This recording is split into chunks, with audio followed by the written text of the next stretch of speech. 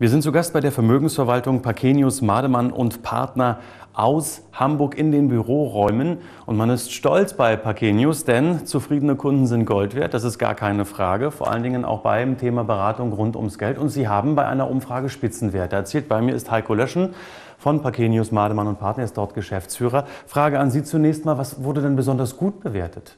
Also wir haben uns sehr gefreut darüber, dass unsere Kunden ein, uns ein so gutes Zeugnis ausgestellt haben. Also besonders gelobt wurde äh, der persönliche Kontakt, die Kontakthäufigkeit, dass unsere Berater stets erreichbar sind, dass wir aber auch anrufen, wenn etwas ist, dass wir auch anrufen, wenn etwas nicht ist, um einfach den Kontakt zu halten, aber dass wir uns ganz individuell einstellen auf die Bedürfnisse unserer Mandanten. Und natürlich letztendlich daran werden wir gemessen, die Performance. Mhm. Für Sie ist ein ganzheitlicher Betreuungsansatz besonders wichtig. Haben Sie mir verraten, was hat es damit auf sich?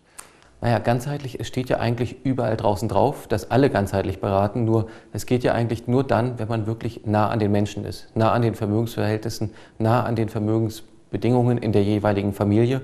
Und erst dann kommt man wirklich nah an die Menschen und an die Kernprobleme ran, die die Menschen auch haben. Ob das dann wirklich die Finanzierungsstruktur ist bei Immobilien, ob das das Portfolio-Management ist, was unsere Kernkompetenz ist, aber ob es vielleicht die Altersvorsorge ist, vielleicht auch generationenübergreifend mal äh, auf die nächste Generation oder die darauffolgende Generation Vermögen zu übertragen. Letztendlich aber natürlich auch andere Anlagefelder, wie beispielsweise Oldtimer, Kunstinvestments, vielleicht sogar in Möbel, Antiquitäten und ähnliches. Da helfen wir, das machen wir nicht selbst, das hat unser Netzwerk in petto sozusagen, aber das gehört aus unserer Sicht alles dazu. Und bei dieser Beratung unterscheiden Sie auch in, einer, in eine reale Rendite und eine emotionale Rendite. Wie meinen Sie das? Ja, also grundsätzlich ist es ja so, die Menschen kommen zu uns, die die Entscheidungen an uns abgeben, was das Vermögensmanagement angeht. Und die emotionale Rendite, die holen sich die Menschen ja in der Regel bei ihrer Passion, da wo sie Lust zu haben, ob das der Job ist, ob das die Familie ist, ob das ein Hobby ist, ob das der Klang des Oldtimers ist oder der Lack, wenn man drüber streicht, ob das die Betrachtung eines Kunstwerkes ist, das betracht, bezeichne ich als emotionale Rendite. Oder bei einer Kreuzfahrt vielleicht aufs Meer zu schauen abends und nochmal einen Schluck Sekt zu trinken.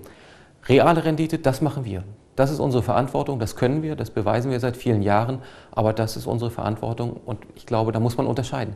Herr Löschen, es ist nichts so gut, als dass es nicht noch besser werden könnte. Und selbst wenn Sie gute Bewertungsnoten bekommen haben, gibt es sicherlich auch noch Ansporn genug für Sie, auch besser zu werden. Wo sehen Sie Potenzial?